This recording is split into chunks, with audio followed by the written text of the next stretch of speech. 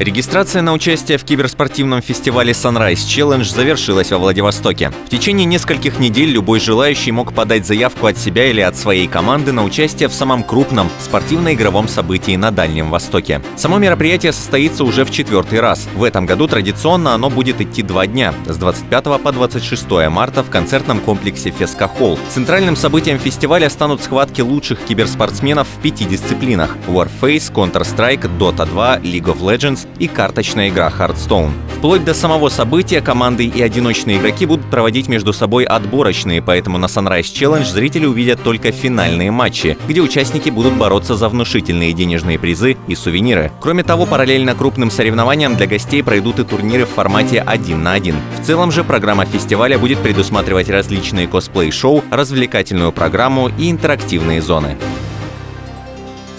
Футбольный клуб «Луч Энергия» приступил к сборам в Турции. Команда уже провела первую тренировку в городе Белек. В расположении главного наставника Константина Емельянова оказались все футболисты, кроме Алексея Грицаенко. Как ранее и сообщалось, защитник желто-синих отправился на просмотр в футбольный клуб «Амкар». У Грицаенко есть предложение от разных клубов. Что с ним будет дальше, сказать не могу. Рябко, он в команде. Правда, ему еще предстоит реабилитация, так что подготовку Алексей начнет по индивидуальной программе, но ближе к концу сбора возможно, вольется в общую группу. Замечу, что официально на данный момент никто не изъявил желания покинуть команду. По крайней мере, мне об этом ничего не известно. Напомню, что единственной возможной потерей для Луча сейчас считается 22-летний Грицаенко, который благодаря своей игре получил интерес от клубов премьер-лиги, таких как Амкар и Спартак. Стоит отметить, что еще в конце 2016 года защитник команды Антон Пескунов рассказал, что из-за финансовой нестабильности у Луча есть риск потери многих игроков в зимнем перерыве.